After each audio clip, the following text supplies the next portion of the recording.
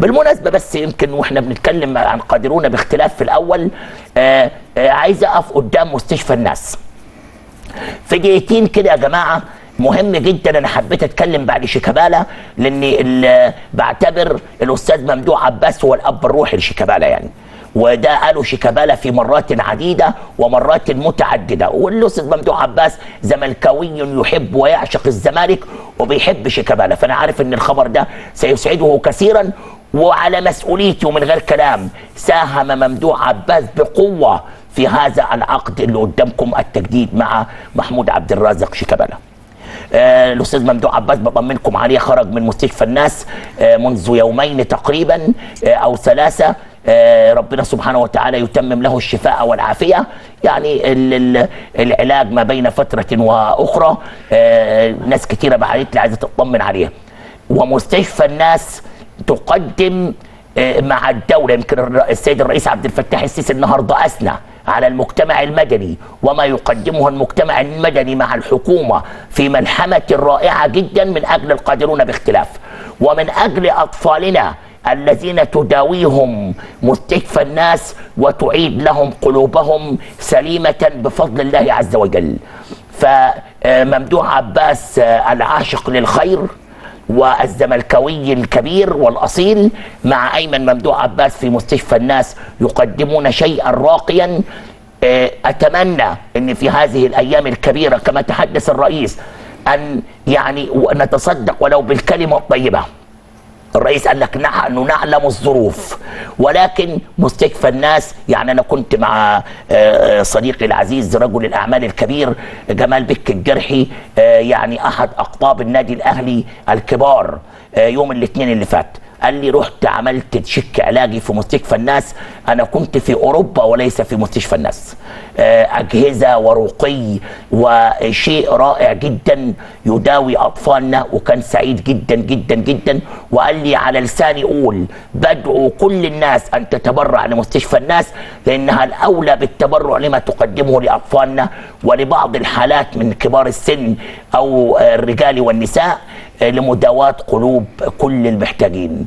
وخليني دايما أيمن ممدوح عباس كان يقول لي يعني خميس عصفور الذي أنشأ هذه المستشفى لخص دورها الإنساني في كلمتين عالجوا الفقراء كما يحب أن يعالج الأغنياء. كلمة في هذه الأيام المفترجة بتجيب من الآخر. ربنا يدي الصحة للأستاذ ممدوح عباس ويبارك في عمره ويجعله لنا دائما ذخرا وسندا للخير وللفقراء لما يقدمه في مستشفى الناس وما يقدمه في مؤسسة الجود وكل من يعاونه في ذلك وجعل الله ذلك في ميزان حسنات الجميع. وإن شاء الله بإذن الله ربنا سبحانه وتعالى يجعلنا دائما في حالة أفضل ورقي. وعشان خاطر الأستاذ ممدوح عباس آه كنا بنتوقع مباراة الأهلي والزمالك. أنا شخصيا سجل للتاريخ متوقع فوز الزمالك. مش عارف ليه عندي الإحساس ده. أشوف كده مع الأستاذ ممدوح هنروح لفين؟ يا رب. الزملكاوية بيقولوا والأهلاوية بيقولوا أيضا يا رب. معي ومعكم في هذا الجزء التحليلي والحواري الكبير آه اللي حضراتكم بتنتظروه. نجم التحكيم العالمي. كابتننا الكبير الكابتن وجيه أحد أحد أهم علامات التحكيم المصري الذي شارك في كأس عالم وأولمبيات وألعاب إفريقية وأمم إفريقية. اسم يشار له بالبنان أحد أساطير التحكيم المتواجدة معنا في هذا الزمان والذي نعتز به كثيرا وبإذن الله تعالى. سيكون معنا مفاجأة مع الكابتن وجيه أحمد. ان شاء الله في كأس في كأس مصر ونهائي كأس مصر. هنعمل لكم كده حاجات. يا رب تنال رضاكم إن شاء الله. كابتن وجيه منورنا ومشرفنا. اشكرك يا أستاذ عبد الناصر وسعيد إن أنا أكون معاك. طبعا بحب أوجه الشكر للمستشار ترك على هذا النجاح الكبير سواء في موسم الرياض سواء في التبادل الفني بين مصر والسعودية وأيضا التبادل الرياضي وإن إن البطولة تنتقل إلى المملكة العربية السعودية تحت رعاية ولي العهد محمد بن سلمان ربنا يديله الصحة. وطبعا رعاية المستشار ترك آل شيخ طبعا أنا شايف إن العرس هيبقى نجاح كبير وأداء مميز. وإن شاء الله بإذن الله تعالى تحت قيادة حكام مصريين.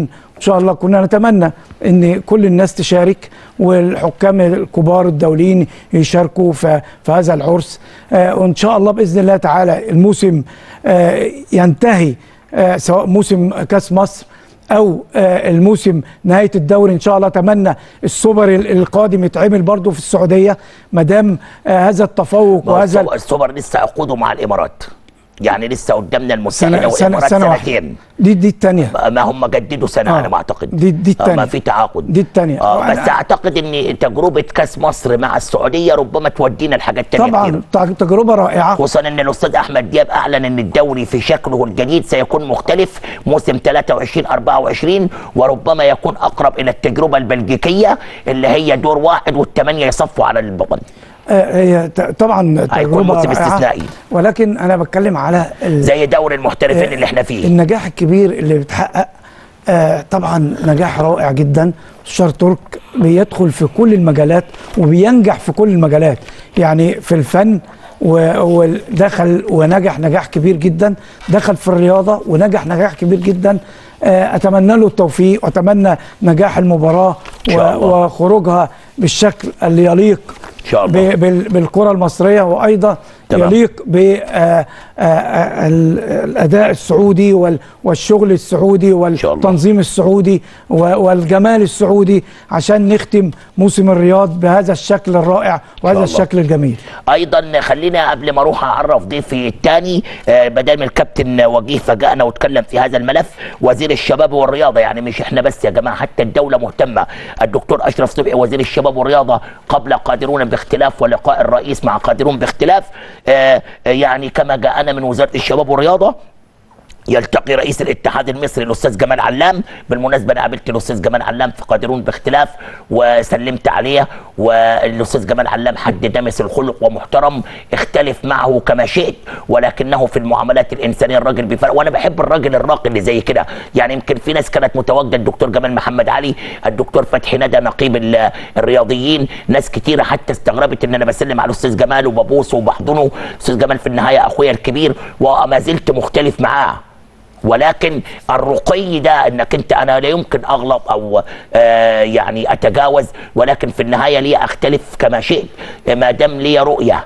آه ولكن إنك أنت تقابل من تختلف معاه وتسلم عليه. ولذلك أنا بعلن ان ملف الاختلاف ده أغلقته مؤقتا آه لحين انتهاء نهائي كأس مصر لأن إحنا في فترة تقارب ليس فيها مجال للكلام أو إكراما للقادرون باختلاف. وللرقي اللي التقيت به الأستاذ جمال علام في هذه النسخة وهذه كل يعرف إن أنا قلبا وقالبا مع النائب أحمد دياب. عشان بس الدنيا تبقى أنا ما بحبش اللون الرمادي في الحياة. أنا بحب الدغري ماليك في في الألوان الرمادية. لا ابيض لا اسود زي ما قال عمك عادل إمام. لا ابيض لا اسود أختلف ولكن أحترم. شكرا للأستاذ جمال على حسن مقابلته وهو راجل دائما يأسرنا بأخلاقه مهما كان الاختلاف بيننا. آه طبعا حتى صديقي إيهاب لهيط أنا بحييه آه تزامنا من آه مسافة طويلة مشي النهارده وإيهاب راقي وإن شاء الله على موعد بحوار محترم معه فيما هو قادم.